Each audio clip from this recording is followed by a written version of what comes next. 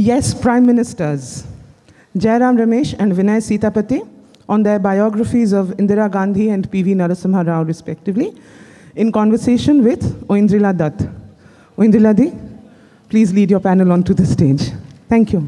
Is the session on the Prime Ministers. She was charismatic, fearless, admired, feared, a fast friend, an unforgiving adversary. And all these facets made Indira Gandhi one of the most definitive political figures of her time. She changed the way the world looked at India. She took on the mighty US in defeating East Pakistan, paving the way for Bangladesh. She was also the architect of the much reviled emergency, but she was also that rare would be dictator who called for free elections in which she was trounced.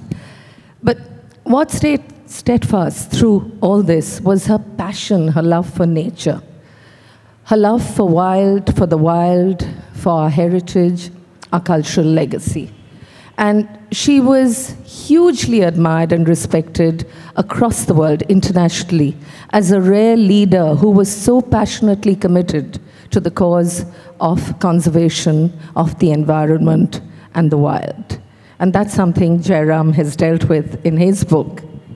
We have another prime minister of a very different kind, who I think 19 years after he was unceremoniously thrown out of politics, uh, 13 years after his death, he still remains an enigma.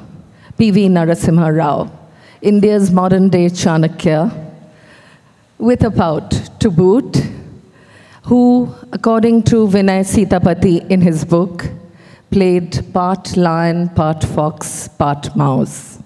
The architect of India's path to liberalization, economic and technological evolution unfortunately had a few blots on his record, such as the Babri Masjid combustion. And equally unfortunately, his failures outran his far more, his far more prominent and considerable achievements.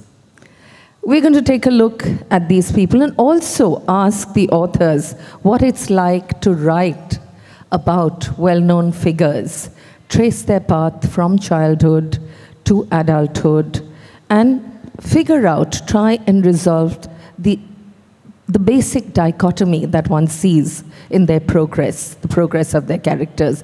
So, Jairam, I'll start with you.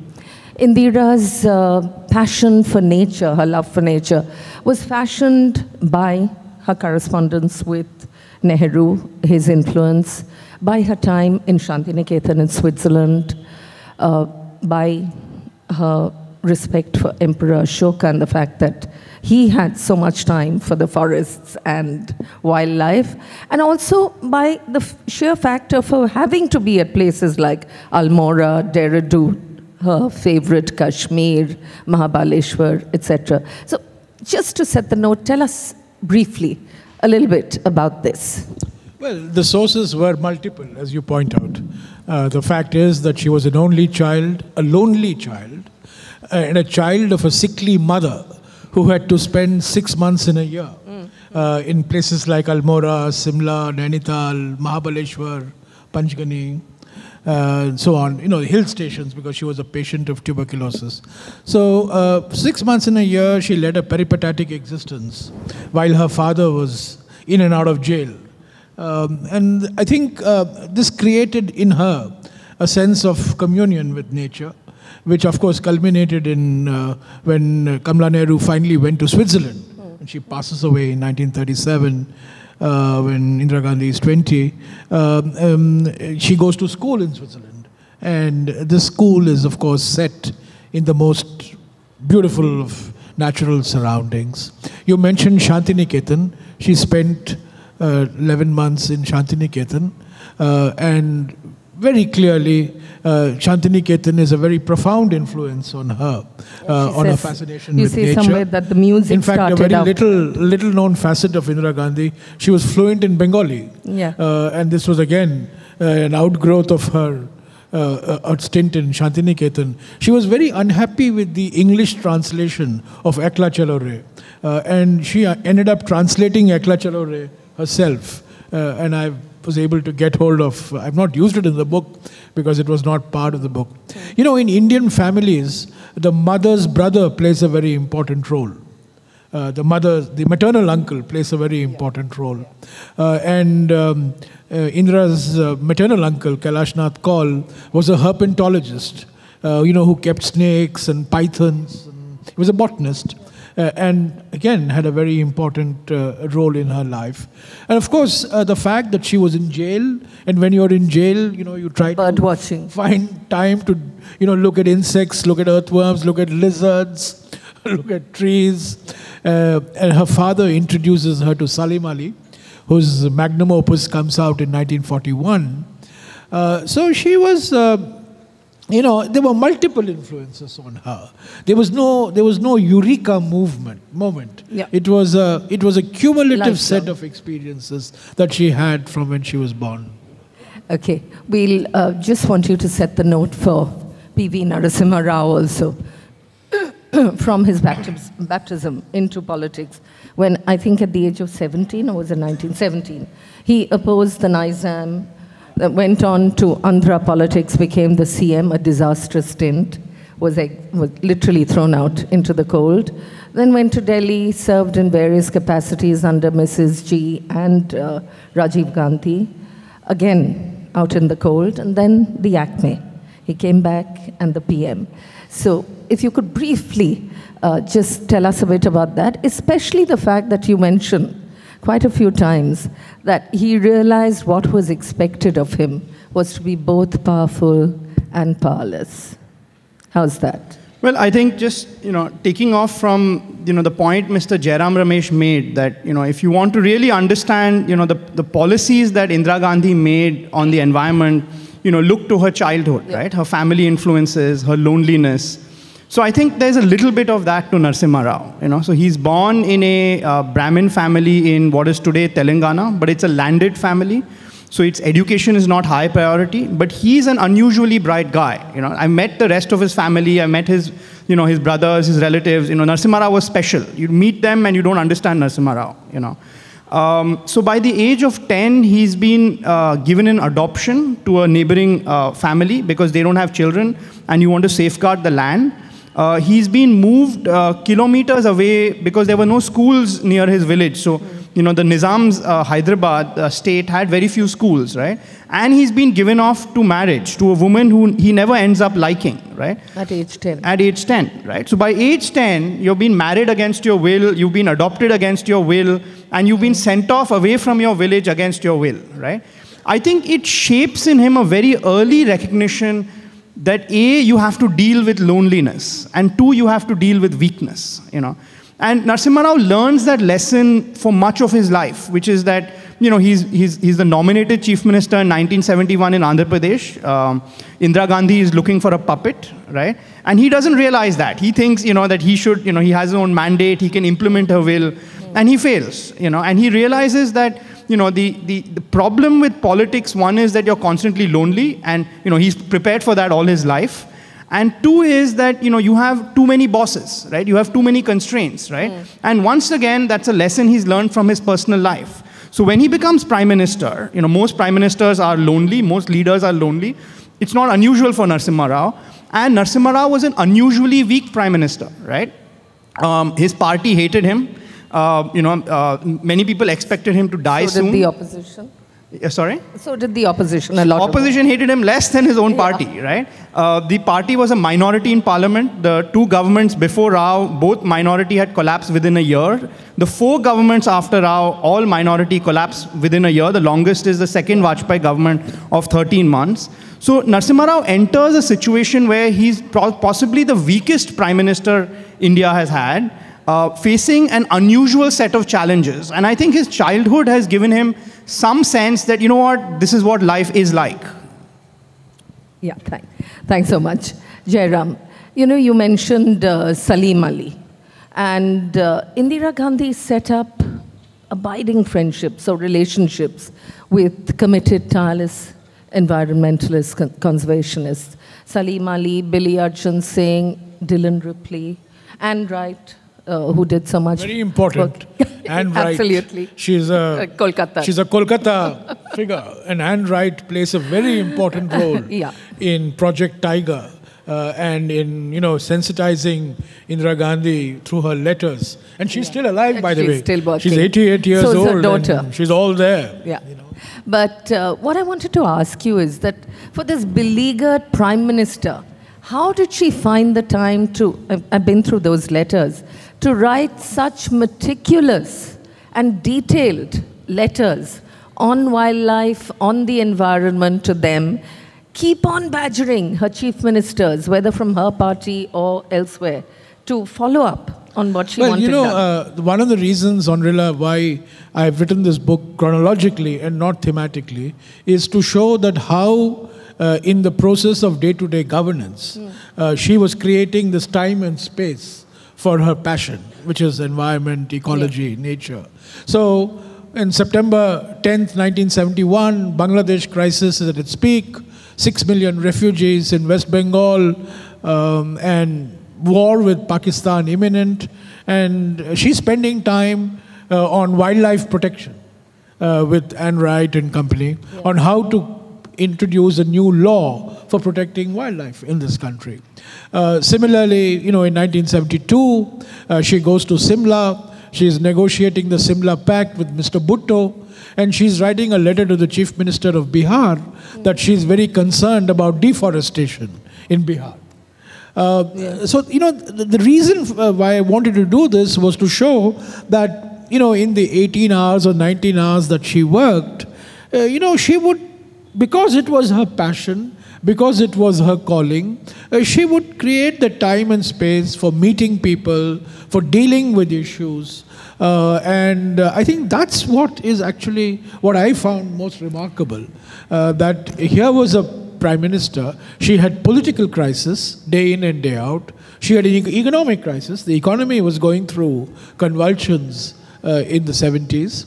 Uh, and yet, in, in the midst of political and economic upheaval, uh, she found time for this. And the only reason I can think of is because she really passionately believed in this. And this was what she thought was going to be her legacy. I mean, we see the emergency has a legacy. In we fact, see the bank also. nationalization is a Yeah, legacy. yeah. Actually, she saw her legacy as protection of the environment. She saw her legacy as protection of you know ecological balance. That's why it's very important for biographers not to put themselves into the books that they write uh, and allow their subjects to do more of the talking. Unfortunately, more often than not, biographers tend to project themselves. Uh, and what I've tried to do in this book is to allow Indira Gandhi to do most of the talking. Uh, you know, through her letters, through her speeches, through her notes. Uh, of course, all this depends on the availability of primary material. If you have primary material, there's nothing like this.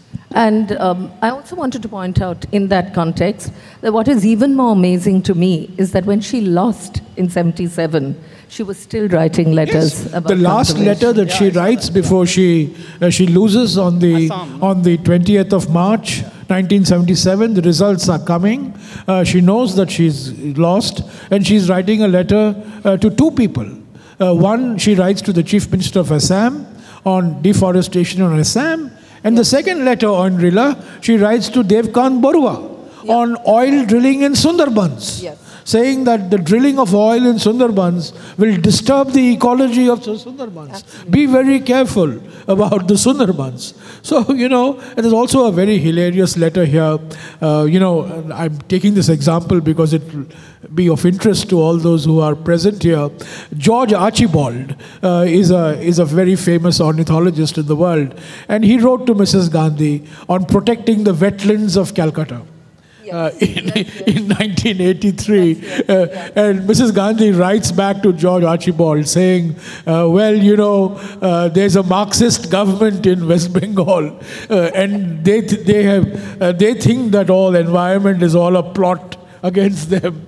So I'm not very hopeful uh, of convincing uh, these. Uh, And Jyoti Basu lives up to that. Although Jyoti Basu and she had the best of relations, the best of personal relations, because their equation went back to 1939. I'll tell you something about Jyoti Basu and Indira Gandhi, which very few people know. That when Jyoti Basu used to call on Indira Gandhi, Jyoti Basu was perhaps the only person whom Indira Gandhi would escort back to his car and open the door until Jyoti Babu sat down. She would not leave because their relationship from goes back to 19. Actually, it goes back to 1938. I just want to read out two lines from this.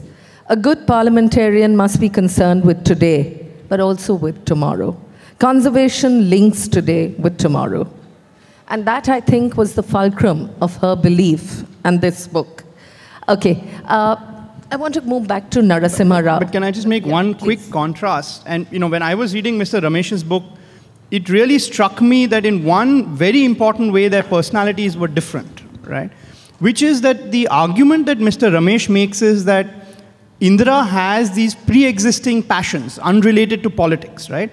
And amidst the crisis of politics, she's able to translate those passions, both she's able to continue the passions, and she's able to translate her passion for nature, environment, and wildlife into policy, right?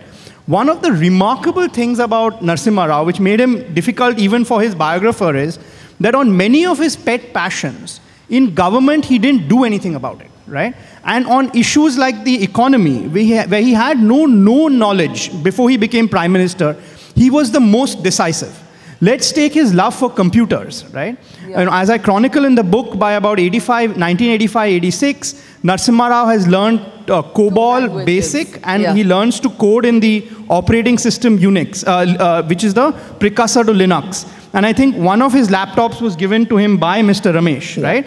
So you would say that, you know, here's a man who loves computers, he's constantly buying gadgets, and you'd see a translation on that into, into policy when he's prime minister. You don't, you know, you just don't, right? he was 60 something then. Yeah, he was So that's his 65 hunger when for he- knowledge. 65, he learns three computer languages, right? And he was wearing a dhoti. And you know, 1985 is just six, seven years after the personal computer revolution has come to America, right? And you have a, you know, a guy who's dhoti clad, who, who speaks English as his fifth language, learning computers, but you don't see that translated, right? Or take foreign policy. When he, before he became foreign minister in 1980, he had no known views on, on, on the world, none, right? The first time he's gone abroad when he's 1973. So in many ways, He was 53 years yeah, old. you know, he's never gone abroad before that. Yeah. So in many ways, what was remarkable about Rao was that while his childhood provided some clues about his actions, you know, what really came across was that at key moments of crisis, he was willing to rise up to the occasion in ways you couldn't fathom. And, and his biographer, I kept wondering, wait a minute, this doesn't make friend, sense. And then, you know, a biographer that I respect a lot told me that, well, you know, think about your friends, right? You have childhood friends, you think you know them very well, and suddenly they do something that you don't expect, right? And if, if, if that's the true with your family, your friends, it's also true of, of politicians, right? Sometimes, you know, their past doesn't help them, right? And I think in that very important way, there's a difference between these two books and these two personalities. But I want to just take up on that. You know, from being the Nehruvian socialist chief minister of Andhra, Yeah. a disastrous stint Yeah. again, and a protectionist, Yeah. how was the transition made to being one of the most forward thinking prime ministers that India is ever going to have, possibly? How did, was it uh, triggered off? Was the catalyst his trip to the US when he was 53? What was it? Well, so I think that, you know, the, as far as the change in India goes, I think that the, the ideas behind the changes in India in 91, you know, owes back to at least the early 1980s, right? So most of the, you know, when we say the end of the license quota permit Raj, most of the drafts were drawn up during Rajiv Gandhi's time, right? Uh, many of the changes that India wanted on foreign policy was thought of during Rajiv Gandhi's time. At the time, Rajiv Gandhi was seen as the most pro-American prime minister India has ever had. You know, we made a tentative move to Israel. We opened up Davis Cup ties. Uh, you know, he made the move to China. But he lacked the political ability, right? I think, I think he was far more of an instinctive reformer and liberalizer than Narasimha Rao with zero political ability. Narsimha Rao understood that change in India was fundamentally political, right? So, you know, I- my sense that without is the that. numbers. Sorry? He did that without the numbers. He did that without the numbers. He did that being hated by everyone. He did that being completely silent, you know, not speaking. Uh, because, you know, I mean, think of it in a very simple way, right? If GST ends up working out, if it does, would you thank Arvind Subramanian? Would you thank the finance minister? Or would you thank Narendra Modi for e- being able to get it through the Lok Sabha and the Rajya Sabha, right? We understand intuitively that the problems in India are political. The solutions in 91 were also political, right? The ideas were well known, you know. Prime ministers before Rao had tried it. Narsimha Rao's ability was to see the arc of history and move with remarkable decisiveness. I think that's really, I mean, I wouldn't, rather than call him an ideologue, you know, rather than call him someone who was an instinctive liberalizer, you're right, he wasn't, right? But he understood what was needed to be done. And once he did that, he knew in India how to get it done, right? And I think that is very, very, very rare in the Indian context. And I think what uh, comes through in all of that is the enormous courage that this man, with just a few that he had in majority, always under attack, underlined from his own party. He didn't know when he was going to fall. He faced three in quick succession, no confidence uh, motions. He still had the courage to pursue what he thought would be good for the country. And Rajiv Gandhi, with such a huge mandate, a young leader that everyone looked up to, hoped for, could identify with, let them down on so many counts. But uh, to get back to Indira Gandhi, you know, she said somewhere, and that's in your book, that she loved climbing trees because she found refuge. She could hide there. She could take a book up there and read. And you see that her passion for trees more than flowers, forests, that led her to turn so many sanctuaries into national parks. Start Project Tiger. She helped save through various projects the crocodile, the bustard, the rhino, uh, the brown antlered deer, so much. But uh, apart from telling us a bit about that, I also want to know that at a time when finances were crippling, cripplingly low, how did she manage to get the money, the resources to put into this? What kind of determination See, did that to go take? back to go back to a point that Vinay made, I think in the case of Indira Gandhi, environment, which was a private passion, became a public calling. She converted a private passion into a public calling, which for Narasimha was not there because there was no Yeah. private passion, so to speak, other than watching Manuel Santana play tennis. You can't make that a public calling. But um, in her case, it was a private obsession. She made it a matter of public policy. And if you really look today, the laws that we have to protect the environment, the Wildlife Protection Act, the Air Pollution Control Act, the Water Pollution Control Act, and the um, Forest Conservation Act, were all done during her time. And it was not done during her time passively by her, it was done during her time actively by her. She was the one guiding the bureaucracy what to do. The institutions that we have today, the pollution control boards in various states, the Central Pollution Control Board, were established during her time. The Ministry of Environment was created by her, and she was the first minister for environment till her death in uh, October 1984. So, uh, you know, uh, her environmental legacy is not just a matter of historical interest. It's a matter of contemporary interest because the laws, the regulations, the institutions uh, are all already in place. And you know, we can argue about how efficient they are and how effective they have been, but the fact is that these are all or go back to her time. And uh, sorry, I'm interrupting here. Uh, So- uh, the lion, once upon a time, was the national animal of Well, India, yeah, and I it was know. during her time that that became the tiger. Mr. Modi's great regret is that the lion is not the national animal. And you know, once upon a once when he was chief minister, I pointed out to him that the, the tiger is present in 19 more states of the places, yeah. country, and the lion is avail- is present only in, In three Gujarat. districts of one state.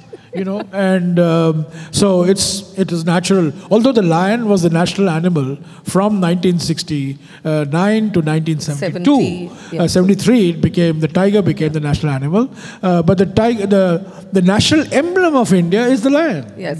Sarnath capital. It's all about lions. Yeah. But there's Uh, bull, lion. Yeah, but you know the Make in Elephant. India, the Yeah. Make in India logo is a lion. It's not a tiger, by I the know. way. So there's a lot of politics involved. but that apart, uh, yeah, I mean, uh, whether it was Project Tiger. In fact, there's a very interesting story on Project Tiger, which will appeal to our audience here. You know, the original Project Tiger had only eight sanctuaries Hmm. uh, to begin with, uh, and she came for a cruise. In the Sundarbans, Sundarbans. in January of 1973, and she goes back and then she says, "Why can't Sundarbans be a sanctuary?" So Sundarbans became the ninth of the sanctuaries that was originally announced in April of 1973. So the crocodile, uh, the saving of the gharial, the Project Lion in Gir Forest, Project Tiger, the pygmy hog uh, in Assam. I don't know how many of you have read Gerald Durrell. Uh, Gerald Durrell is a very famous writer, and he was very worried about the pygmy hog, Yeah. and he had he had been badgering people in India about the pygmy hog, but Indians didn't seem to be bothered about it. So he wrote to a very famous naturalist called Peter Scott, uh, the son of the great explorer uh, Roland Scott, saying that my pygmy hog file is bigger than the pygmy hog. Can you help me do something about this? So Peter Scott wrote to Indira Gandhi, and lo and behold, a pygmy hog conservation program started. And today, the pygmy hog, which is a animal so small, uh, is is no longer extinct, no longer endangered. It's now, you know, uh, it's now there. There's a pygmy hog breeding program in Assam. So there are many examples. By the way, one of the animals that she was very obsessed with was the black buck. Yes. Now, the black buck became a household name in India thanks to Salman Khan. But uh, if Salman Khan had not made, or uh, the Nawab of Pataudi, the late Nawab of Pataudi, uh, uh, the, the black buck, incidentally, figures in the Rig Veda. It goes back to the Vedic times. Uh, and Mrs. Gandhi was just absolutely fascinated by the grace of the black buck. Uh, and she said, why can't we protect the black buck? So the first black buck sanctuaries in Gujarat. Rajasthan, Oh, Rajasthan, in yeah. Rajasthan, the Tal Chhapar uh, black buck sanctuary got started. So, you know, there are There was the olive ridley sea She was a bird watcher. She was a member, she was a founder member of the Delhi Bird Watching Society. And one of the last things that she did uh, a week before she died uh, was about the white winged wood duck. Yes. Uh, I didn't even know what a white winged wood duck was. It was a small little bird, uh, and uh, there was a conservation program that was started. Uh, in fact, it was started in Calcutta, uh, thanks to Anne Wright and Belinda Wright, and then it became one of the success stories. So there are numerous such examples where, uh, you know, this was not an example of an advisor telling the prime minister. In the case of Narasimha Rao, he had a Manmohan Singh. You know, Yeah. Narasimha Rao provided the political leadership. In- but Narasimha, uh, there was a Manmohan Singh telling her, uh, telling him, and others also. But in the case of Indira Gandhi on environment particularly, I think she was pretty much her own figure. Excepting these other figures, No, Salim Ali and Billy Arjun Singh. Certainly. She, uh, she gave access to them. yes. Uh, yes. Certainly, I mean, she gave access to them. Uh, they could meet her anytime. They didn't go through the normal channels. Uh, she was Billy Arjun Singh, uh, Dulip Mathai, Zafar Futehally, Salim Ali, later Yeah. on Sunderlal Bahuguna, Yeah. all the great environment. Anne Wright, I've already mentioned. So there were you know, many, many people who could meet her, who could just call her uh, and meet her, and you know, she would end up doing. You know, I, I just want to, since you mentioned Manmohan Singh, I'm going to ask you, Vinay, what would you consider uh, Narasimha Rao's biggest attribute? Was it the fact that he could identify the best people, choose them, convince them to join him? He didn't with I.G. Patel, but Manmohan Singh was a fantastic second option. And then support them to the best extent possible. Was it his inscrutability? Was it his ability, as you've already said, to move with the times? What was it that made him such a distinctive, outstanding prime minister? Well, I think one is that he had a preternatural sense of political timing. You know, it's not something that can be learned easily. You know, to give you a sense, uh, you know, all evidence is until early 91, he's a protectionist, right? He doesn't have strong views on the subject. You know, one of the few ministries he has never held in his life is, you know, finance, industry. You know, he never held that. So he had no sense. I mean, his broad instincts were Congress instincts or, or you know, Indira's, not Rajiv's instincts, Indira's instincts. Um, but then, you know, about a few days before he becomes prime minister, the then cabinet secretary Naresh Chandra hands him a note it's also there in, um, uh, in Mr. Ramesh's earlier book. Uh, and you know he realizes the scale of the crisis he realizes what needs to be done and the evidence then on is very very clear that he's moving at lightning speed you know he understands that this is a pivot this is a pivotal moment, right? So he asks PC Alexander, who's, his, uh, who's helping at the time, look, I want a finance minister who's internationally credible, right? And, you know, um, PC Alexander mentions IG Patel's name, who was the director of the London School of Economics. I, I checked that out. IG Patel says, no, my mother is ailing in Baroda. I mean, imagine, right? He could have then been prime minister one day. Uh, and he says no, right? And then he says, you know, who else? And then the name comes Manmohan Singh. Uh, Manmohan Singh is woken up. You know, he's asked, uh, he's not sure. The next morning, the day of the swearing in, Manmohan Singh, who's the head of the University Grants Commission, you know, has dressed up like a babu and gone to Bahadur Shah Zafar Marg. You know, as UGC chairperson, he gets a call from the prime minister saying, I want you as finance minister. The swearing in is in two or three hours. Can you come, right? And Manmohan Singh says yes. He goes home. He changes, you know, a little more formally, and he goes and, you know, he's prime minister, right? So Narasimha Rao can move very, very, very, very fast. Uh, he also understands, you know, because unlike I think any prime minister, he was unusually experienced in every facet of government, right? Uh, he had won, I think, nine elections before he became prime minister, in contrast to Manmohan Singh, who never won an election in his life. He was just nominated. Uh, he, was just nominated. he lost the Lok Sabha ele- only Lok Sabha election he stood. Uh, he had held a variety of executive positions, right? A variety of minister ministerships in Andhra Pradesh. Uh, he has been chief minister of Andhra Pradesh. He'd held virtually every position bar finance in Delhi. Uh, contrast that with someone like Narendra Modi, who understood how the states worked, but didn't understand how Delhi worked before he became prime minister, right? Or the Nehru Gandhis, who knew how Delhi worked, but had not really worked in the state. Narasimha Rao had seen it all. Consequently, he could, you know, he understood the limitations of his power and could move very fast. I think that's one. Two is he was not insecure, right? And that yeah. goes to the team yeah. building question. You know, I think there's a, you know, there's a law in India, I think it's called Indreshan's law, but basically first-rate people hire first-rate people, second-rate people hire third-rate people, right? Because second-rate people tend to be insecure. They don't want to hire people who overshadow them, right? Uh, Narasimha Rao was not insecure. He knew foreign policy better than most of his IFS officers. So, you know, he, you know, he, I mean, he could, he could fight back, he could argue back. There are a lot of notes that I saw that are in the book. He didn't know in, uh, economy. He didn't know it, right? So he turned to people who knew it, like R. Venkatraman initially, and then Manmohan Singh, um, Montek Singh Ahluwalia um, A.N. Varma, huge, you know, who had been industry secretary earlier, you know, one of the big heroes of liberalization. So, you know, he was not insecure, you know, and, uh, but at the same time, he wasn't a particularly nice guy. So, you know, he could also teach people a lesson repeatedly, right? So, you know, as Mr. Ramesh would tell you, you know, you know, for, for no obvious reason, you know, he just pushed him out of the PMO after two, three months, right? It's not obvious, right?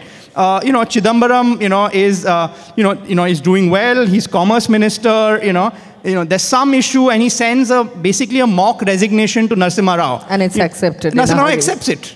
You know, and Chidambaram doesn't know what happens. He said, why do you accept it? Narasimha said, why did you send it to me, right? So, you know, he, you know, he could keep people away from him. I mean, he had a sense of people management, which came from the fact fundamentally that he wasn't insecure, mixed with incredible political timing. He gets it wrong sometimes. I think Babri Masjid, he got it wrong, no, right? We, will just yeah. come back to that. you know, you said something about timing. Just to answer yeah. your question, I think, uh, I think uh, Narasimha Rao's masterstroke was to appoint Manmohan Singh as finance minister. Well, I disagree that in the book, by the way, completely. You know, I don't think that's right at all. I think that you know, the, here, I, I look, I, I told Dr. Manmohan Singh this, right? I interviewed him for the book. I said, look, if it hadn't been you, right, liberalization would have happened, yeah. right? Because you know there was IG Patel, no. them, you know, I think Pranab. Well, if, it, if Pranab Mukherjee was finance minister, it wouldn't have happened.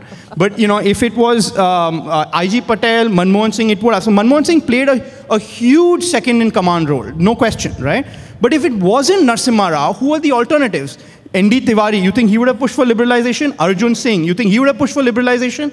I mean, That's the and point he's ultimately, that's the making, I think. right? I think that's the point he's No, making. the point I'm making is that Manmohan Singh was central to Narasimha Rao's success. Yeah.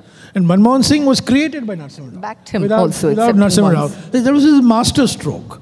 Uh, in fact, uh, Pranab Mukherjee was deeply disappointed that he was not made finance minister. The day Manmohan Singh was being sworn in, Mr. Mukherjee asked me, Joyram, what is happening? You know, and uh, you know, I said, sir, I don't know anything. What is happening? Uh, and then, of course, two days later, he was appointed deputy chairman of the Planning Commission. But that was a master stroke because Dr. Manmohan Singh bought Gravitas. He represented a certain ideological spectrum of economic policy. The left, I mean, And- Jyoti Basu, for example. I mean, Jyoti Basu was critical of whatever Narasimha Rao was doing. But I am being present when Jyoti Basu has said, well, if Manmohan is saying this, then maybe we have to go along. I think that's uh, You the know, you crux. two hours you criticize the economic reforms. He and Ashok Mitra and uh, Ashim Dasgupta would sit and cri- uh, uh, criticize Narasimha Rao, uh, agent of World Bank, agent of IMF, Western neoliberalism. CII. And at the end of two years, say, if Manmohan is saying this, it is okay. I think that is the crux of the matter. The huge respect that he commanded worldwide when he walked in through any door, the respect that he got. But I'll come back to you on that speed of response, which has come up in your book, or the lack of it. And I want to ask Jairam a little bit of the negatives. For someone who stopped the road from going through Borivali Forest, who saved the Silent Valley, who did so much for Indian environment and wildlife. Two big blots, Kudremukh and the Mathura refinery. What, what made her say yes to those? well, you know, they are blots from an environmental point of view. Yes. But as I have tried to argue in the book, Mrs. Gandhi was very conscious of the fact that she was prime minister of a poor country, where the priority was not environmental protection, but priority was seen to be jobs, investment, So she was being industrialization, pragmatic. urbanization. So she was very conscious. The word that she uses is ecological balance. So she's always conscious of the fact that she has to, you know, go on the middle path. No chief minister supported her. In fact, her old colleagues were sort of, you know, not with her. Um, so the political class was not with her. The media had still not woken up to environment. There were hardly any NGOs. The first environmental movement in India, contemporary India, is in the late 70s with the Chipko movement. And then, of course, the Narmada movement starts in the mid 80s after her death. So she was very conscious of this. So in Kudremukh, the Iranians come up uh, to give India $600 million at a time when India's foreign exchange reserves is $2 billion. Now, you know, that was too good an offer uh, to pass. Uh, in the case of the Mathura refinery, although the refinery is close to the Taj Mahal, it would uh, uh, deface the marble. It was close to the Bharatpur Bird Sanctuary. It was on a broad gauge line. It was a national highway. Uh, it had all the infrastructure. And she took a conscious decision, although after taking the decision, she called all the engineers to her room and said, I want you to go and find the best pollution control technology you can buy anywhere in the world. Cost is no consideration, but make sure that Taj Mahal and Bharatpur are safe. So, you know, this was a trade off she made. Yeah. In the case of Silent Valley, of course, she took the other view. She said, no, I must protect this rainforest. So it was always. There was too you know, much, too she- much It was a at stake. zigzag. It was not a unilinear, straightforward approach. She had to make compromises. She was, after all, a political leader, and she cannot be seen as anti jobs, anti investment, anti big factories. And, And so I on. think that's tied up with her question. She asks, Aren't poverty and need the greatest pollutants? And she also goes on, that's in your book, where she talks about uh, forests and how the people who live off the forests are abusing them and the need to educate them. is so important. You know, that plant a tree every time you Her uproot view one or on destroy forests one. changes. In the 70s, she believed that forests should be protected as pristine uh, nature reserves. But by the 80s, she begins to realize that there are a large number of people living in forests, Yeah. dependent on forests for their livelihood. And you cannot protect forests unless you bring the people involved. So, forests are not just about tigers, forests are also about people. And that realization comes to her uh, sometime in the 80s. One thing on Rila I want to say, and uh, this was common to Indira Gandhi and Narasimha Rao. Indira Gandhi searched for the roots of what she wanted to communicate in ancient Indian culture, in ancient Indian knowledge. So she would keep on quoting. She goes to Stockholm. She quotes from Becomes the a Atharva rock Veda. star there. Uh, she co- when she speaks, Yeah. she is quoting from the Upanishads. Uh, in one very famous speech, she talks, uh, "Prakriti rakshati rakshataha." Nature protects those who protect it. It- you know, that's why uh, one of the best reviews of this book came in an uh, RSS-friendly magazine Yeah. called Swarajya. Because I thought Swarajya is going to kill this book because it's about Indira Gandhi. But no. And the man who wrote the book, I thought was he going to make it even worse. Jerry Rao, the famous entrepreneur. But you know, for him, the fact that Indira Gandhi delved into the Upanishads and the Vedas and the ancient Indian knowledge to make educate Indians about the need to protect nature was great. Similarly, Narasimha Rao, you know, on the 15th of July, uh, 1991, when he was being badgered in Parliament uh, on a, uh, in um, economic reforms, and uh, people were attacking him, including Mr. Vajpayee, and so on and so forth. He just calmly gets up and gives, you know, he had a very circumlocutory way of speaking. He would just confuse you by his uh, circumlocution. And suddenly he said, uh, Sarvanashe samutpanne ardham tyajati panditaha. Nobody understood what he was saying, you know. Uh, and he repeated it a second time. Sarvanashe samutpanne ardham tyajati panditaha. And what am I doing in economic reforms? I am only doing Mahaprasthana. What Mahaprasthana? Mahaprasthana is what Yudhishthira was doing when he was going to heaven. You know, along with Draupadi and the Pandavas. And Sarvanashe samutpanne ardham tyajati panditaha means when everything is being lost, the wise man saves whatever little he has. So that's what he was saying. That economic reforms, what am I Yeah. doing? Everything is being destroyed, but I'm trying to save what I have. In other words, Yeah. the communication, the idiom of communication is very important. And both to Mr. Narasimha Rao, I think Narasimha Rao, of course, is a great scholar, a but didn't speak scholar. half the time. I think that was his weapon, that he was such a silent man. And He I want uh, to he was, ask uh, you. he, he was erudite in many in languages. many languages, 10 Many languages, languages. including The joke, the Spanish joke was he knew how to be silent in 10 languages. Although, that, although that was a joke. Mani Shankar Aiyar said But that I also he want was- to say Manishankar Iyer said he was indecisive in many languages. Yeah, but that's what he just said, I think. But it's also an amazing fact that this man won an election from three different states speaking in those languages and winning. He spoke Spanish, Arabic, English, of course, and seven Indian languages. But quickly, to uh, uh, dwell a little bit on those blots that we talked about. You said in your book that those four days when the Sikhs uh, were killed, massacred after Indira Gandhi, was his vilest hour.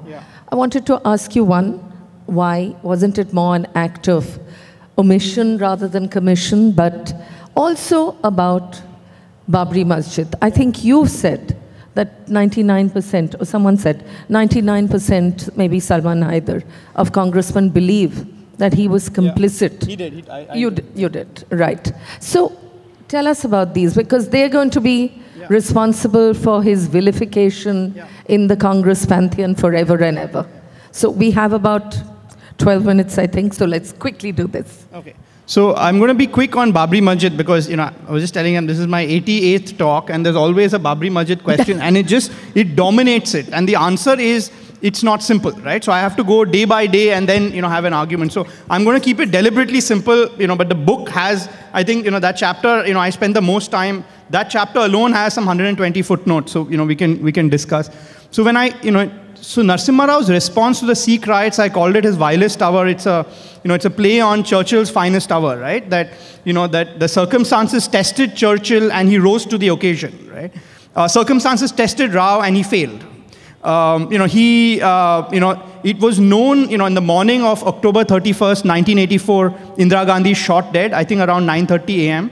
Uh, roughly. Narasimha Rao is in, uh, you know, is, is outside Delhi. Uh, you know, he travels immediately. He goes to AIIMS Hospital in Delhi where Indira Gandhi's dead body is kept. By that time itself, a pogrom is being planned. You know, there have been sporadic incidents of violence against Sikhs, no Sikh has been killed, but the president, uh, uh, uh, the, the, president's motorcade has been attacked. Imagine, the president of India's motorcade has been attacked. So there are all indications that violence is planned the next day. And Narasimha Rao is home minister, and you know, as you know, and as Kejriwal complains endlessly, Delhi police responds to the home minister, right? Not to the chief minister. Not then, not now. And um, you know, at about 6 p.m. roughly, you know, there were two people in the room. Narasimha Rao was, you know, in his office in Raisina Hill when he gets a call from somebody in the PMO, I can say it privately, I don't want to say it publicly, saying that, look, there's going to be violence tomorrow, we need a coordinated response. Let all the station house officers respond only to the PMO, right? Now, the person is not Rajiv Gandhi, there's no evidence that Rajiv Gandhi knew about the violence, or knew that it was planned, but certainly people close to him knew that, you know. And, uh, you know, Narasimha Rao, all of a sudden, doesn't have control over the Delhi police, right? So people are coming to him complaining, and you know, I have testimonies of many people saying that every time someone went and complained to Rao about the violence, he would pick up the phone and talk to somebody, right?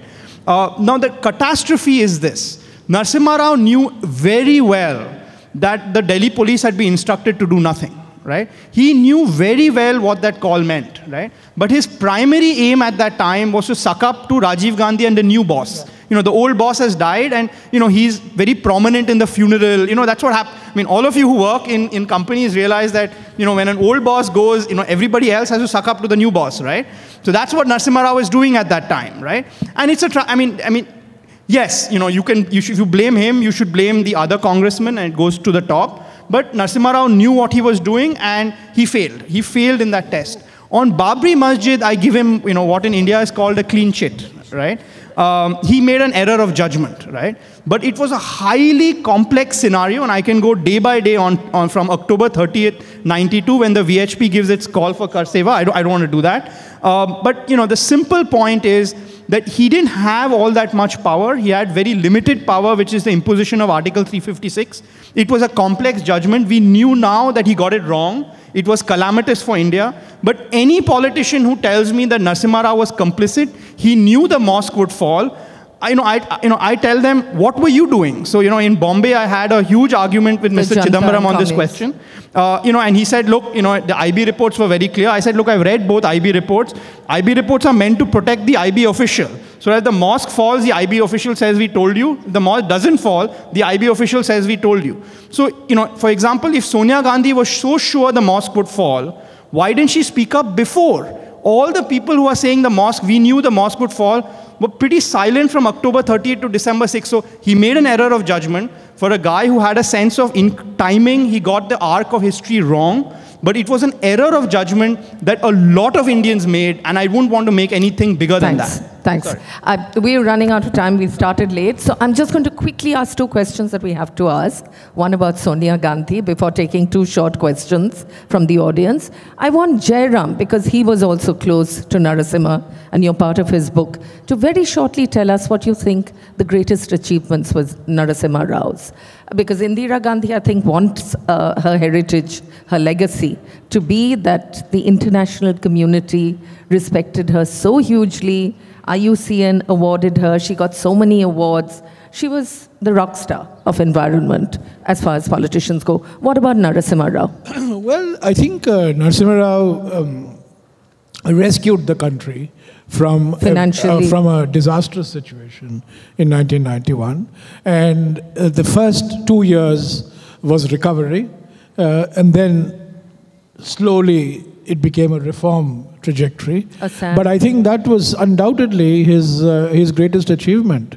Uh, and I, I, I come back to this that I think but Narasimha Rao's greatest achievement was uh, to put Manmohan Singh in charge and give him the political leadership and the political, uh, you know, masterminding of what were essentially economic decisions, which were known. What needed to be done was known, but what was missing was the political courage. And I think that Yeah. Mr. Narasimha Rao did because uh, he knew that by doing so, he would no longer be a footnote in Indian history, he would actually be a separate chapter in Indian history. Thank you. He also opened up a full diplomatic relationship with Israel, did a fine balancing act between USA and the USSR. Last question before two questions, and I know you can write a book about this, but Sonia and Narasimha, very complicated. They hated each other. That's the short story. Um, Sonia was justified in disliking Rao. I think that's it's fair to say, because Narasimha Rao, you know, basically realized, and I put the date as July '93, that you know he was not beholden to Sonia Gandhi. So you know, as, as some of you know, Sonia Gandhi was offered the chance to be Congress president. When her husband dies, you know, that's a prelude to prime minister. She says no. You know, it's you know, she's the final decider in nominating Narasimha Rao. I mean, others have suggested it. Um, but he, you know, he's the, he's, she's uh, including P.N. Haksar, who uh, Mr. Ramesh can talk about. Uh, but you know, he's the one who, she's the one who decides it. So you know, she's justified in saying, look, he is my you know placeholder, right? Narasimha Rao is like, look, I'm Prime Minister of India. I'm, I'm putting it very crudely. The you know, book has it in more detail. So you know, while Narasimha Rao was Prime Minister, he gave as good as he got. Uh, Sonia Gandhi was spying on Narasimha Rao using his cabinet colleagues. Narasimha Rao was spying on Sonia Gandhi using the Intelligence Bureau. So I saw an Intelligence Bureau document uh, take, written from inside 10 Janpath. Can you imagine? Like Narasimha Rao has a man or a woman inside 10 Janpath telling him what his own cabinet members are complaining about him to Sonia Gandhi. It's like one of those Mad Magazine spy versus spy, right?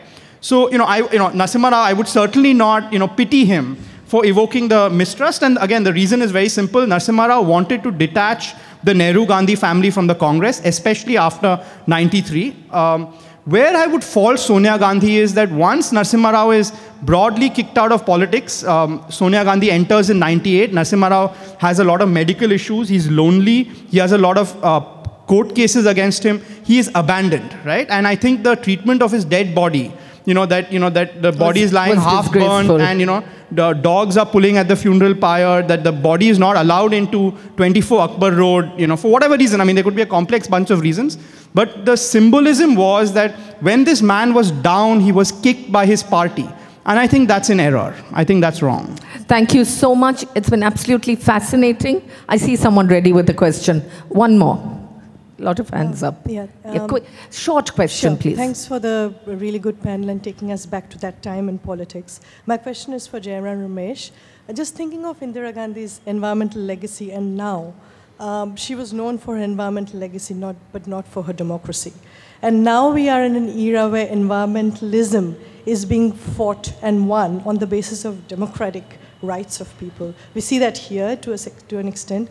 I work in Australia and we see that the Adani mine there is very unpopular, etc. So the question is, thinking about Indira Gandhi's form of environmental, her, her environmental legacy, would that have been relevant and applicable now, or would it have, have had to be in a different kind of environmental? I, I'm sorry, even I didn't understand the question. my, my, my question. One line, a question. Would Indira Gandhi's kind of environmental protections and environmental work and legacy have been relevant in today's oh, times? okay. Always, I think. Yeah, Okay. Jairam. I think let me let me say that Indira Gandhi was India's first and last prime minister to make environmental protection part of her day-to-day governance agenda. She walked the talk. Other prime ministers, including the present prime minister, talk. But if you look at the walk, there is a big difference between the walk and the talk. Yeah. I think that's, uh, if she were alive, remember in 1972, she goes to Stockholm and she's talking of climate change. She's talking of deforestation. Exactly what we are talking in 2017. In 2015, when the Paris Agreement was signed on climate change, there were 80 prime ministers and presidents who went for that summit, including our prime minister.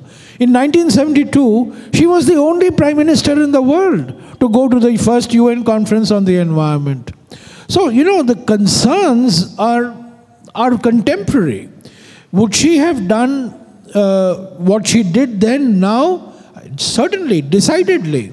And I would say one thing now, different now than at that time, is people's movements are far more active today than they were during her time. And she would have been far more responsive to people's movements. Remember, the Narmada project did not get the sanction as long as she was alive. Tehri project did not get the sanction as long as she was alive. All the big dams against which agitation took place did not see the light of day as long as she was alive. So I think she would have been far more sensitive to people's movements than Yeah. today's people. Thank you. Thank you so much. Last question, quick one. Yes, uh, one each to the two gentlemen. Uh, regarding Nasimha Rao, you have made that the Babri Masjid demolition was the only blot, the only blot in his career. No, he didn't say that. There were many blots. Okay, okay. Now, I mean, also point out that there were a lot of others. For example, the Bombay bloodlust and all these sporadic, you know, violent activities of the terrorists started in his prime ministership. So, don't you think that he was his hobnobbing with Chandraswamy and other godmen? Don't you think that he was more of a very non-courageous Chandragupta Maurya than a Chanakya? Number one, and because you mentioned about the timing and the Let's have just one question. We're really running short of time. Can another Thanks. two? Yes, yes. Another two. So your yes, to Jairam Ramesh, your comments about the you know the Bhopal gas tragedy and Indira Gandhi is what did she have to tell about? So, I mean, I think there are separate issues here. I mean, he had many blots on his life. I mean, he had, you know, three, three serious corruption cases against him, uh, of which one he was certainly guilty of. I mean, all three he was held innocent, but I'm pretty sure that one, uh, which is the JMM bribery case, he was certainly guilty of. He's not the first politician in India to be corrupt, let me add, you know.